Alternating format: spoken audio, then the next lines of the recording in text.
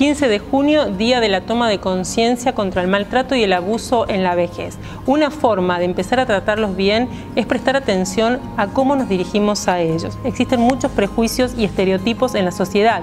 Uno de ellos es pensar que todos los viejos son abuelos. ¿Son abuelos? Sí, de sus nietos. Es un rol familiar, pero no por eso tenemos que llamarlos a todos abuelos. Empecemos a llamarlos como corresponde. No le digas abuelo a todos los viejos.